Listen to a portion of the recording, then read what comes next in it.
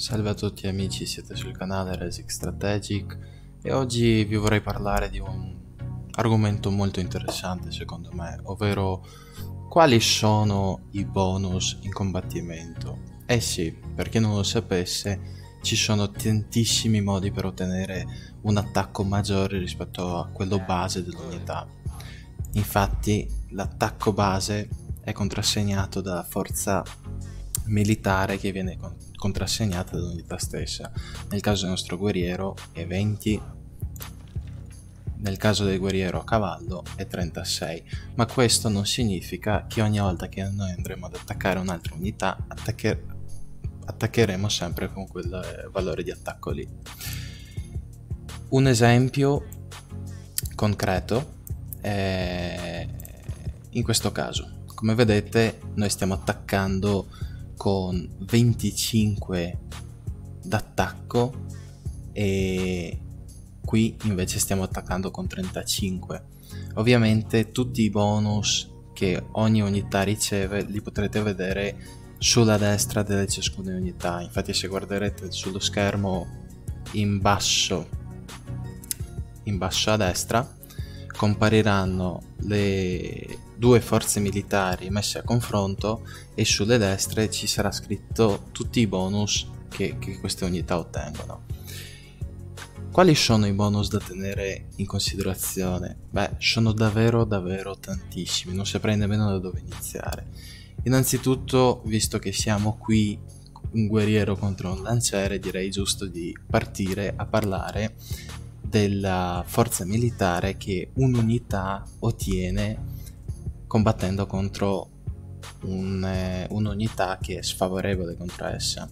Proprio in questo caso abbiamo i guerrieri, ovvero forze d'attacco ravvicinato, che hanno un bonus di più 10 d'attacco appunto contro gli, i lancieri che non sono soltanto i lancieri dell'epoca classica, ma sono anche tutte le unità di questa categoria. Quindi stiamo anche parlando dei bicchieri in futuro, dei terzi, eccetera, eccetera. Un altro bonus fondamentale da tenere conto è la tipologia di terreno su cui ci troviamo. Infatti, se voi guarderete, mentre io sto puntando sul guerriero a cavallo, questo ha sulla, lo potrete vedere sulla sinistra della descrizione di questo guerriero a cavallo, ha più 3 per terreno ideale. Che cosa significa? Questo cavallo si trova, come vedete, su una collina. Una collina come la foresta aggiunge più 3 di attacco. Poi c'è anche il fattore della difesa fortificata. Questo che cosa significa? Questo significa che quel guerriero per ogni turno che passa in fortificazione riceverà un ulteriore bonus di più 2 alla difesa fortificata, fino ad un massimo di 6. Come vedete, un altro fattore è il bonus di supporto, ovvero se noi stiamo attaccando un'unità e questa ha qualche unità alleata vicina, questa unità riceverà più 2 di bonus supporto per ciascuna unità che sta vicino ad essa.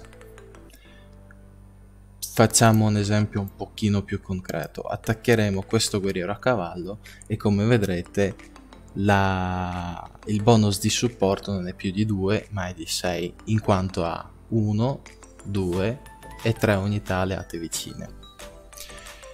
Un altro modo per alzare il nostro valore di attacco e invece accerchiare le unità, che è un po' l'inverso di ciò che succede quando noi attacchiamo un, un'unità difesa dalle altre unità alleate. Quindi accerchiando un'unità noi andiamo ad aumentare il nostro bonus per l'accerchiamento. Infatti se voi vedrete sotto a destra sulla descrizione del mio Varu vedrete un più 8 di bonus per l'accerchiamento questo in quanto a parte la mia unità attaccante ce ne sono altre 1, 2, 3 e 4 che la supportano. 4 per 2 diventa più 8. Un altro fattore molto importante da considerare è che ci sono delle carte particolari, ovvero quando voi entrate nell'epoca buia, fino al Rinascimento compreso, vi si sbloccherà questa carta eh, dell'eroismo disperato, che aggiunge un più 5 di forza di combattimento a tutte le unità da mischia. Questo vuol dire non solo le unità da mischia come il guerriero e la sua categoria, ma anche eh, lancieri oppure cavalieri. Infatti come vedrete il mio varo sulla destra ha un più 5 alla forza di combattimento da, per tutte le unità da mischia. Un altro modo per ottenere il eh, bonus di attacco è quello di sbloccare la politica, anzi il governo oligarchia. In questo caso lo possiamo vedere sul nostro avversario. Infatti se voi guarderete i francesi hanno sbloccato l'oligarchia, l'hanno adottata come proprio governo e hanno aumentato il valore di attacco delle loro unità da, unità da mischia, in questo caso però esclusi i cavalieri, quindi esclusi tutte le unità sia di cavalleria pesante sia di cavalleria leggera, hanno aumentato il loro attacco di 4, proprio grazie a questo governo. Un altro modo per aumentare le proprie difese è quello di mettersi dietro al fiume. Infatti, come vedrete, se io volessi attaccare con questo guerriero il, l'arciere che sta dietro al fiume, avrei eh, questo arciere avrà un più 5 da difesa dal fiume. Lo potrete vedere nella descrizione di questo, di questo arciere. Inoltre, avrete notato sicuramente comandante guarnigione tra i bonus dell'arciere. Questo per il fatto che il nostro nemico ha preso all'interno della sua città questo governatore, Victor, e gli ha dato la seconda promozione che è capo guarnigione. E come vedrete le unità che si difendono all'interno del territorio della città ottengono più 5 alla, forza di, di combattimento. Dunque, in questo modo ha aumentato il potere di tutte le unità che si trovano all'interno delle caselle della propria città. Come vi dicevo prima, non solo le colline danno un bonus di difesa, ma lo danno anche le giungle. Infatti se io vado a puntare con questo guerriero a cavallo contro il guerriero che sta sulla collina con le giungle, questo guerriero ha ben più 6 per terreno ideale. Infatti, come dicevamo prima, più 3 si ottiene sulle colline e più 3 si ottiene sulle foreste oppure giungle. Dunque, un più 6 più un più 6 per la, per la difesa fortificata e insomma arriva a più 12 già di suo. Più aggiungiamogli un bel più 4 dell'oligarchia e se siete stati attenti ai conti avrete notato che arriverebbe in realtà a 36. Bene, siamo arrivati dunque ad uno degli aspetti più carini, più simpatici secondo me, ovvero la visibilità. Che cosa questo significa? Se voi andrete no- ad aprire il vostro, il vostro nemico, vedrete che qui c'è il livello di accesso nessuna. Questo perché non abbiamo alcun livello di visibilità nei confronti del nostro avversario. Il livello di visibilità lo potrete vedere ovviamente all'interno della Civilopedia come si può alzare. In breve vi posso dire che nel momento in cui stabilite una rotta commerciale e questa giunge al termine si crea una base commerciale all'interno della città di destinazione. Dunque se la spedite verso le città dei vostri avversari creerete le basi commerciali. Queste aiutano ad aumentare di 1 la visibilità, eh, la visibilità nei confronti del vostro avversario, quindi aumentare l'in- l'intel dell'intelligence. Per ogni livello di visibilità in più voi riceverete un più 3 di attacco. Infatti Caterina de Medici, grazie al suo diciamo potere speciale da, da leader, ha un livello di visibilità in più verso tutti gli altri giocatori. Di conseguenza, tutte le sue unità hanno un più 3 di bonus d'attacco contro tutti gli altri giocatori. Un altro modo per aumentare il livello di visibilità è quello di scoprire la tecnologia tipografia, come vedete fornisce un livello in più di visibilità diplomatica nei confronti di tutte le altre civiltà. E un ultimo modo per aumentare notevolmente la visibilità è quello di giocarci con le spie. Ovviamente noi attualmente siamo un po' indietro con l'età, però nel momento in cui avrete le spie potrete mandarle all'interno della città del vostro avversario e dirgli di iniziare a raccogliere informazioni dell'intelligence che aumenta per appunto di uno la visibilità nei confronti del vostro avversario. Un'altra cosa sicuramente da tener conto sono le abilità dei vostri leader. Ad esempio, Chandragupta come Gandhi essendo una civiltà dell'India, sblocca un'unità particolare come il Varo. E il Varo, se guarderete ora nella sua descrizione, dice che dà meno 5 di forza di combattimento delle unità nemiche adiacenti. Purtroppo, dopo l'ultimo DLC, la, il bonus malus che ottengono i nostri nemici non si somma più, però comunque un meno 5 è sempre una cosa molto simpatica. Infatti vedrete che l'arciere oltre ai bonus ha anche un meno 5 d'attacco appunto per la presenza, per la vicinanza del Varo. Tenete conto anche aspetti dei leader come Mapuche che ottiene un più 10 di attacco contro civiltà che si trovano nell'epoca d'oro. Oppure tenete soprattutto in grande considerazione civiltà come la Mongolia che non ottiene un semplice più 3 come la Francia per ogni livello di visibilità, ma ne ottiene ben 6 e mandando una rotta commerciale sarà raddoppiato, in quanto la, la base commerciale che viene stabilita all'interno della città nemica per la Mongolia dà ben 2 livelli di visibilità, quindi un più 12 di attacco è, è, molto molto sgradevole, molto spiacevole, soprattutto visto che siamo all'inizio della partita. Un ultimo ovviamente aspetto da considerare è la presenza di un generale. Infatti, voi avete la possibilità tra i grandi personaggi di ottenere i grandi, i grandi generali.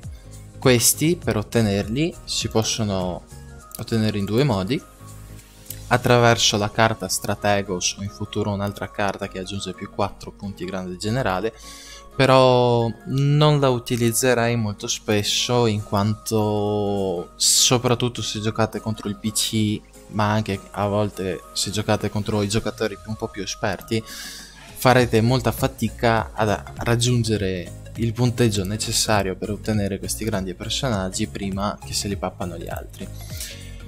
Quindi vi consiglio di costruire l'accampamento, viene sbloccato tramite la tecnologia lavorazione del bronzo. Una volta che l'avrete costruito avrete un più un punto al grande generale al turno, inoltre per ogni costruzione avrete ulteriori punti, ma soprattutto potrete fare il progetto addestramento nell'accampamento che al termine, quindi nel momento in cui lo andrete a concludere, vi darà una buona parte di punti, che solitamente all'inizio della partita varia tra i 15 e i 20 nelle prime appunto epoche. Dunque, come abbiamo detto, se noi avvicineremo il nostro generale, non basta purtroppo averlo, in quanto questi, scusate, questi hanno epoche su, su cui sono attivi, ovvero in questo caso il generale dà più 5 alla forza di combattimento e più 1 al movimento alle unità terrestri di epoca classica e medievale. Solitamente i generali sono 3 per... Eh, sono 6 per ogni epoca, tranne la prima. Infatti nella prima noi abbiamo il generale che funziona sia sulle unità di epoca classica che quelle medievali. Classica sono unità successive all'epoca antica. Dunque cominciano da qui, quindi sui spadaccini, guerrieri a cavallo, catapulte, non unità navali, in quanto queste hanno i grandi ammiragli. Dunque, come abbiamo detto, arciere è un'unità delle, dell'epoca antica, quindi non riceve il bonus di più 5 dal grande generale. Lo potete controllare qui. Mentre il guerriero a cavallo, che è già un'unità dell'epoca classica, riceverà il più 5 d'attacco dalla presenza del grande generale. Lo potete osservare proprio in questo momento nella sua descrizione in basso a destra. Quindi considerate sempre molto attentamente i bonus di difesa, i bonus d'attacco che potete avere voi o che possono avere i vostri avversari prima di decidere di dichiarare guerra, perché non sempre avere le unità dell'epoca diciamo più avanti rispetto a quelle del nostro avversario non è sempre sufficiente per poter sfondare le difese e non sempre essere indietro nelle tecnologie significa essere eh, perdente, in quanto si è bravi a sfruttare tutti questi bonus di difesa, tra difesa fortificata, tra difesa del territorio, tra difesa del fiume, tra difesa di Victor, generali, Intel, sicuramente si riesce a mantenere anche forze di due epoche passate. Questo ve lo posso garantire in quanto mi è già successo in partite online. L'ultimo, ma non meno importante aspetto da considerare per aumentare il, l'attacco delle nostre unità sono i corpi e gli eserciti. Questi vengono sbloccati nel, rispettivamente i corpi nel nazionalismo che permette di unire due unità dello stesso tipo tra di loro per formare un'unità più forte di 10 punti di attacco e successivamente con la mobilitazione sbloccheremo l'esercito che permette di unire questa volta 3 unità. Rispetto a un corpo non riceve più un ulteriore più 10 ma riceve più 7 però alla fine avere un più 17 di attacco su un'unità eh, base è comunque un, un bonus direi non da poco e molto piacevole. Se avete domande fatemele, scrivetemele nei commenti, cercherò di rispondere il prima possibile. Io spero che questo video vi sia stato utile per avere qualche idea più chiara su, sulle tecniche di combattimento. Niente, ci vediamo nel prossimo video. Ciao!